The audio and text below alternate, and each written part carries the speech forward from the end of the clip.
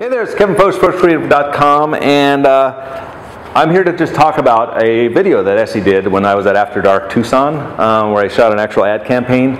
Um, she took a whole bunch of behind the scenes footage so you could see what was going on there. It was really cool. We did a uh, ad campaign for a designer, Amai Unmei. Did I say it right? Amai Unmei. Um, really cool clothes. and I was going to use my uh, bone strobes with the battery pack, and then at the last second I went, you know what, most people don't have that to uh, shoot with, so I shot it all with speed lights. And I think it turned out really, really beautiful. In fact, it kind of pushed me to do things that's, uh, that's actually outside of my comfort zone.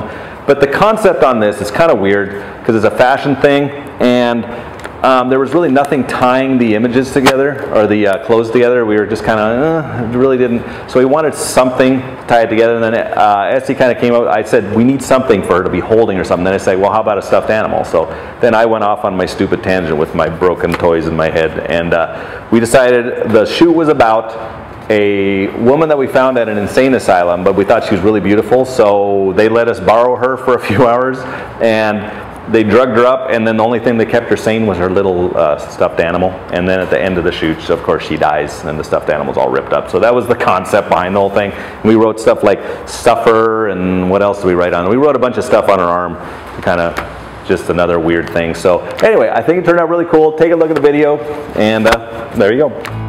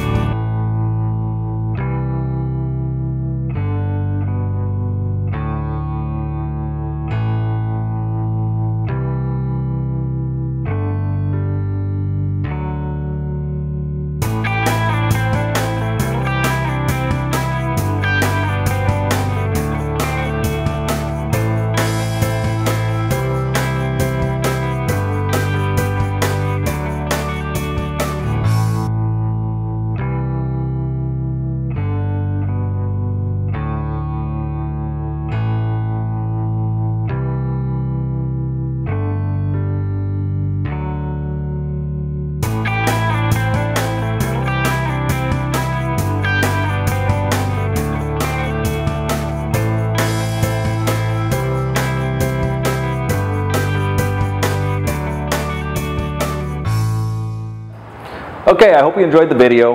Um, Essie did a really great job on this. I always love knowing that she's behind the scenes shooting because she does amazing, amazing video work. Who knew? I mean, who knew Essie, this little tiny little thing with long hair, could actually turn out these amazing videos. So I just feel really lucky to have her here with me um, to do this because it's just something that I think really helps you guys learn. So hope you enjoyed it. Thanks. Kevin Focht, FochtCreative.com with Essie, the amazing Essie doing the video.